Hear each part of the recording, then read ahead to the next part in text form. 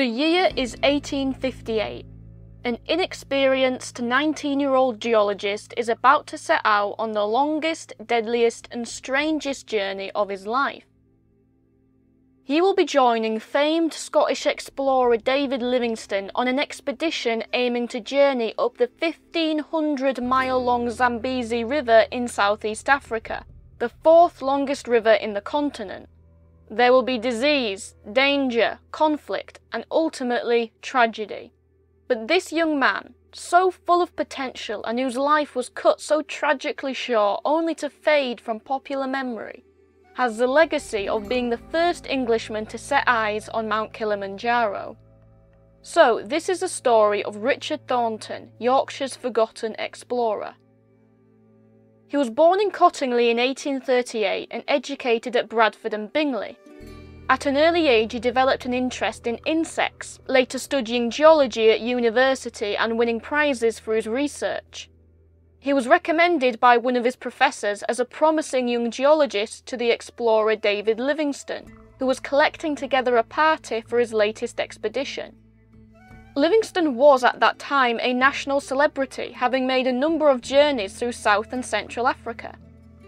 In 1857, he was funded by the government to launch an expedition to the Zambezi. Now, Livingstone is a complicated figure. On the one hand, his journeys throughout Africa did open the door to later European occupation, but on the other, his prime motivation was not to take over the land. Rather, he genuinely believed that by establishing trade and missionary centres along the river, the slave trade, which was being performed by the Portuguese and Ottomans, would be eradicated. And so, compared to many of his contemporaries who did often just want to gobble up land, Livingstone's motivations can be seen arguably as humanitarian, and regardless of the unintended consequences of his expeditions, I think he should be commended for his determined efforts. As he wrote in his journal in 1867, slavery is a great evil wherever I have seen it. However, as we shall soon see, Livingstone, despite his personal qualities, wasn't easy to work with, was borderline incompetent as an expedition leader, and in many ways contributed to Thornton's early death.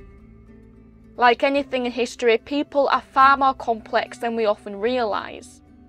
And so, in early 1858, Richard Thornton, then aged just 19, and having his only prior work experience being in mines in the north of England, waved goodbye to his family and set off on the journey.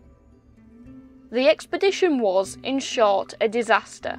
Livingstone would spend five years attempting to travel the Zambezi. Progress was incredibly slow, and his wife Mary would die of malaria along the way. But most importantly, Livingstone's mismanagement of the expedition led to him firing many of the party members, and the doctor, John Kirk, wrote that I can come to no other conclusion than that Dr. Livingstone is out of his mind and a most unsafe leader. It was quickly becoming something out of Heart of Darkness. Thornton, like many of the other party members, was often ill and spent weeks unable to do anything and when he recovered because of his lack of experience and his young age, he was unable to perform his work to Livingstone's standard. As he wrote, Thornton evidently disinclined to geologise and has done next to nothing for the last three months.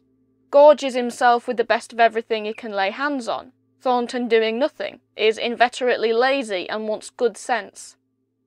Okay, so maybe Thornton was treating the whole thing more like a holiday than a work trip, and so I can certainly understand Livingstone's frustration that he wasn't pulling his weight.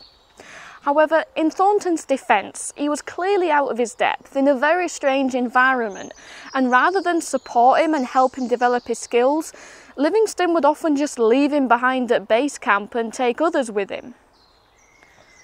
Eventually, Livingstone had had enough of Thornton and fired him from the party in 1859, a year after the expedition started. But rather than just go home in embarrassment and defeat, Thornton decided to stay and prove himself. And so, over the next few years, battling diseases and deadly animals, he would befriend Portuguese traders and make his own way up the Zambezi and Luangwa rivers. His youthful inexperience and immaturity clearly dissipated as a result of his solo travels, as he became moulded into a skilled, independent, and resilient young man. As he wrote in a letter to his brother in 1861, being thrown on my own resources in an outlandish country, without a penny in my pocket, has done me a great deal of good. During the last three years, I have learnt much by experience. It is at times both an expansive and a very disagreeable way of learning, but its teachings are truly practical and very thorough. In fact, that same year, Livingstone asked Thornton to rejoin his expedition, likely because of the maps and geological information he'd collected. Thornton refused.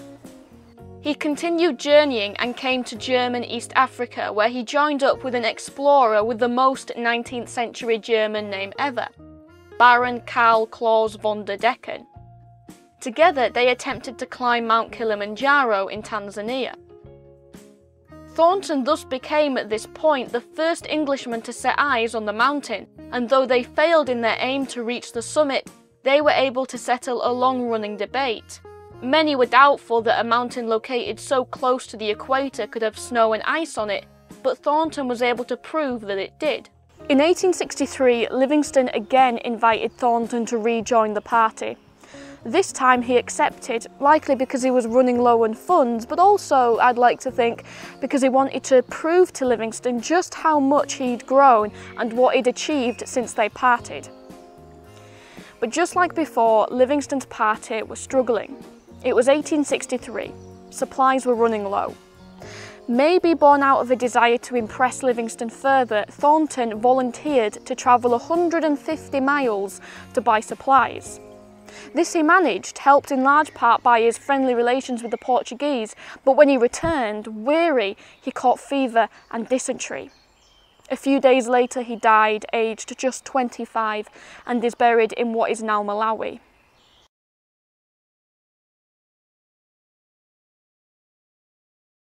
Livingstone never publicly took responsibility for creating the circumstances which led to Thornton's death, and it took a long time for his family to receive his belongings. The supreme tragedy of Thornton's life is that he was an incredibly hard-working, intelligent and passionate young man who was thrown into a situation for which he was tremendously unprepared and unsupported. And yet, despite suffering significant setbacks, he was able to use those experiences as opportunities for growth, proving himself not just as a person, but as a geologist and an explorer. As George Martelli wrote, Thornton had all the qualities necessary to success in the career he had chosen guts, intelligence, industry, independence of spirit, and but for his tragic death, he might well have achieved eminence in the geological exploration of Africa. It was a defect of Livingstone's leadership that he failed to bring out these qualities, although Thornton had already shown them in his excellent survey of the river Zambezi, and that they only emerged after he had escaped from the expedition and the baneful influence of Livingstone's brother. So that's a story of Richard Thornton, Yorkshire's forgotten explorer. Thrilling, inspiring and tragic. It brings me great joy to know that I can share these stories with you. So I hope you've enjoyed this video, I hope you've learnt something new and hope to see you again soon.